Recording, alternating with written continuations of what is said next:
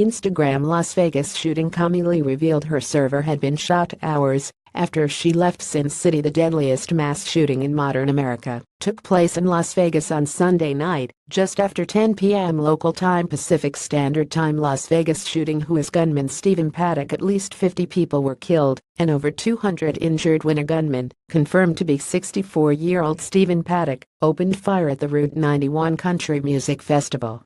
Taking to Twitter, celebrity Big Brother's Cami Li, born Camila Figueres, revealed she had left Vegas just hours before the shooting took place. More than 50 people were killed and at least 406 injured when a crazed gunman opened fire on a country music festival in Las Vegas.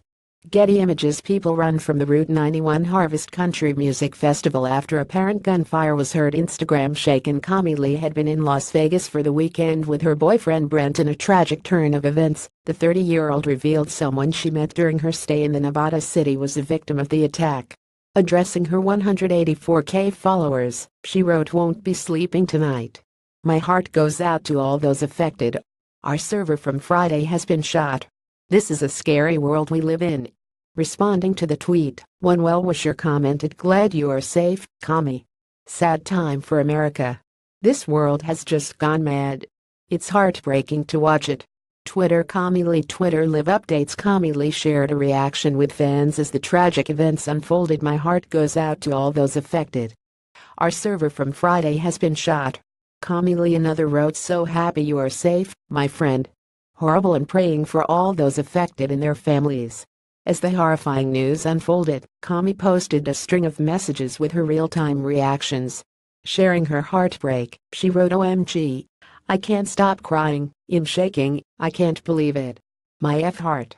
Instagram lucky escape British tennis player Laura was in the crowd targeted by the shooter revealing she had been in Sin City with her fiancé Brent a mortgage broker who popped the question in July, the model posted we got back this morning. I can't believe it. We were there the whole weekend. While Cami had departed Las Vegas before the tragedy took place, British tennis player Laura Robson was caught up in the mass shooting as an attendee of the country music event. Responding to a fan's concern on Twitter, the 23-year-old said I'm okay. We were right there, sounded like fireworks at first then everyone started running. Scary as.